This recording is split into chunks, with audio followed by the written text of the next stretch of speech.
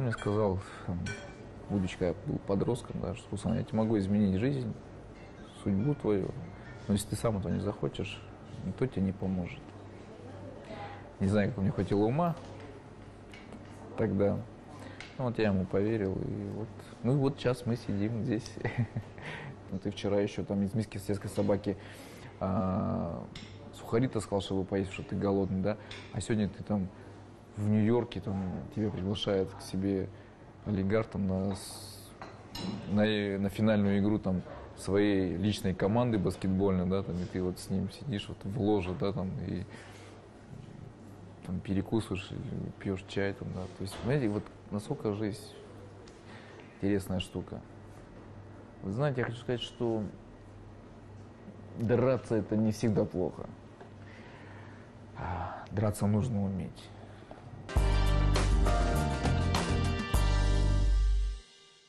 Герой программы «Профиль» Руслан Проводников. Российский боксер, депутат Думы Ханты-Мансийского автономного округа Югры. Родился в поселке Березово, Манси по национальности. Первым тренером спортсмена стал Евгений Вакуев. В прессе Проводникова часто называют русским Рокки или сибирским Рокки. За свою карьеру он участвовал в 150 боях, из них 130 закончились для него победой. Интерконтинентальный чемпион по версии Всемирной боксерской организации в первом полусреднем весе в 2009 и в 2012 годах. Чемпион по версии Всемирного боксерского совета в первом полусреднем весе в 2011 году. Чемпион мира по версии Всемирной боксерской организации в первом полусреднем весе в 2013 году. Руслан Проводников – это уже некий бренд много ипостасей, где ты себя пробуешь, э, где-то тебе нравится, где-то, может быть, не очень. Но ты сегодня и, бренд, и все-таки спортсмен, и общественный деятель, и, как сейчас принято говорить, такой мотивационный тренер. Что тебе самому ближе из вот этих вот амплуа многочисленных? Ближе, ближе, наверное, все-таки до сих пор остается спорт. Спорт как вот, наверное, то есть это вот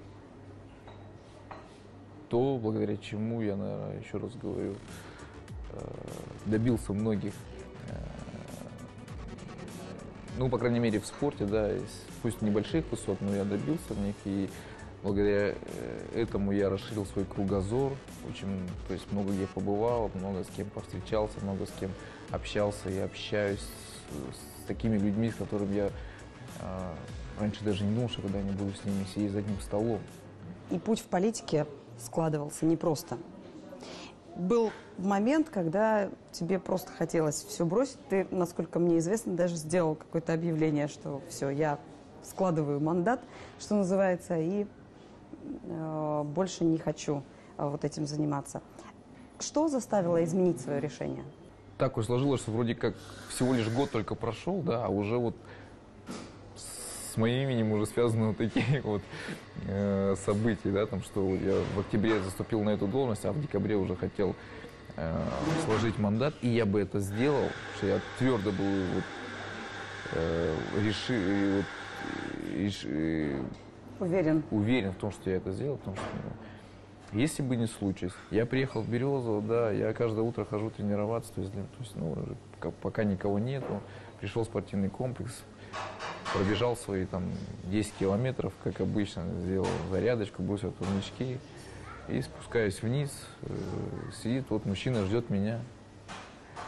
Руслан Михайлович, я хочу с вами поговорить, там, э, я говорю, да, ну давайте пойдемте в кафе, говорю, зайдем, попьем кофе, говорю, поговорим, скажете, что вам нужно. Говорит, ну вот он, это вот э, тренер э, сосед, соседней деревни Сванзитура, э, который вот, ну, обра- обратился за помощью, чтобы ну, помочь, у них там инвентаря не было, спортивных там, мячей, там еще что-то. Говорит, нам вот надо там буквально здесь 1150, может, вот, на вас, как на депутата, написать наказ. Я говорю, вы знаете, ну, наверное, как депутат я вам не помогу, но вот просто как земляк ваш, я говорю, ну, я думаю, там сумма не такая большая, я говорю, найдем, найдем, решим этот вопрос, говорю. Он говорит, а почему как депутат не поможете? Я говорю, вы знаете, говорю, ну вот я вот что-то решил говорю, сложить мандат. И вот прозвучала такая фраза, которая вот мне прям вот так запала, прям, а как же мы? Вот я вот, он даже сам, наверное, не подумал вообще, что он сказал, знаете, ну, я потом э, всю ночь, наверное, тоже вот над этой фразой, то есть вроде там три слова, да, как же мы? Настолько, как бы, знаете, и вот я понял, Перевернули что... сознание. Перевернули, да, перевернули. Я понял, что нет, я, наверное, ну, на самом деле, люди в меня верят, люди от меня ждут, и вот, и это будет слабость, если я сейчас возьму и уйду, и вот так просто, то есть перед первой же трудностью, а, с которым я столкнулся, то есть я, получается, просто пасую, сдаюсь. И я знаю, что недавно ты совершил просто какой-то кру- крутой забег, так скажем, там э, на территорию. Ты просто сел в собственный автомобиль, взял помощника, оператора и поехал к людям, что называется. Поехал смотреть, чем они живут, какие у них вопросы, проблемы. Что ты увидел? Вот есть такие уголки у нас там в Березском районе, где просто нет, еще раз говорю, ни дорог, ни света, ни интернета. Но, э, вы знаете, люди там намного сильнее, намного добрее. Вот чем меньше людей, тем вот они как-то... Им, им, им, им и надо-то не так много, абсолютно. А вот какая-то тенденция непонятная, вот если честно. Чем... Вот когда ты выезжаешь в какой-то уже населенный пункт большой, где есть все, свет, и газ, и дороги, и вода, интернет, телевидение, все. Знаете, такое вот какое-то потребительское отношение. Им еще больше надо. Я, конечно, вот э, благодарен своей судьбе, что вот э, я вот, не знаю, вот как-то неосознанно, неосознанно, но э, мной вели вот эти обстоятельства, которые вот все-таки тренер смог до меня донести. Надо назвать тренера. Евгений Сеевич Вакуев. Вот. Спасибо ему.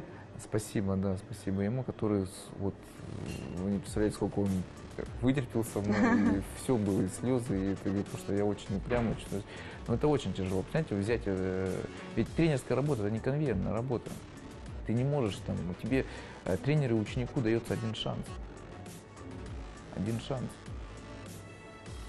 И вот, я не знаю, как, э, вот это судьба, наверное, да, что мы вот так нашли друг друга, да, у нас так все звезды сложились, да, э, что... Ну, вы сполна воспользовались оба этим своим шансом. И, в общем, получился такой штучный, так скажем, товар. А потому что тренерская работа это именно штучный товар. Мой тренер воспитывает сейчас моего сына уже. Моего сына воспитывает. И, возможно, э, сейчас есть возможность, там, может быть, взять и уехать куда-то. Но я понимаю, что я бы мог и сюда привести семью. И своего сына устроить, там, секцию бокса там отдать. А, секций бокс, бокса хватает везде. Ну, нет таких тренеров, потому что многое зависит, 90% от человека, от педагога. Как случилось, что Руслан Проводников э, вдруг увлекся, по-настоящему увлекся литературой и поэзией? Да. Руслан Проводников, да, и боксер, и поэзия, да. так, мне кажется, Нетипичная ситуация. Мне кажется, да, вещи такие несовместимые. Подготовка, Лос-Анджелес. Подготовка к бою с, с Альварадо. Это уже второй бой за титул чемпиона мира, который я... а, Когда я провел свой первый бой за звание чемпиона мира и проиграл Тимоти Брэдли, это вот тот э, нашумевший бой, который в итоге стал лучшим боем года за всю историю профессионального бокса. Бой с русским частью, даже номинирован, номинирован ни разу не был на такую вот э, номинацию почетную. Да. Я благодаря этому бою, что я там показал, просто люди узнали новое имя, да, там, Руслан Проводников. Вот, э, я получил второй шанс. Это в тот период, по-моему, родился в массах сибирский рокки. Да, да, да. Вот тогда мир узнал Да. сибирского роки. Каждое утро в 6 утра мы всегда приезжаем на Голливудскую вот эту гору, еще темно, то есть в 6 утра еще темно, в 7, в 7 утра только начинает потихонечку расцветать. Почему так рано? Потому что когда солнце встает, уже жарко очень. И я включаю плеер, и в наушниках раздается э, песня. Э, Поет Александр Новиков. «Гой ты, Русь моя родная, хаты в ризах образа». Я аж улыбнулся. И я вот эти вот слова, так как эту песню по-другому совсем воспринял, э, Ну, это символично, ну как-то так. Я даже меня- представляю себе на горе Голливуда. Да, те- темень, ты бежишь, и вот в наушниках вот это вот «Гой ты, Русь моя родная, хаты в ризах образ». Я прямо, знаете, так вот, тут что-то, как будто что-то родное. А, Я, я вот бегу, думаю, приду домой, обязательно найду это стихотворение и выучу его. И вот с этого момента началась моя вот, э, Все, и лю- пошло-поехало. любовь да, к поэзии. Я выучил это стихотворение перед вторым своим шансом, да, за звание чемпиона мира. а, Я уже все был одет, у нас всегда традиция есть, мы всегда садимся, то есть все, кто находится в раздевалке, вся команда садится. То есть, ну, это как уже такая просто... И все, и заходят, а, нам говорят, все, go, go, go, go, все, пошли. Я встаю и начал цитировать это стихотворение. То есть я шел к рингу и, и читал это. Со стихами Есенина? Да. Ничего себе. Я шел к рингу, я не знаю почему, мне прям захотелось. Я вот пока мы шли к рингу, я читал это стихотворение. Программа о Руслане Проводникове – это тот самый случай, когда времени катастрофически не хватает, чтобы рассказать даже самое важное.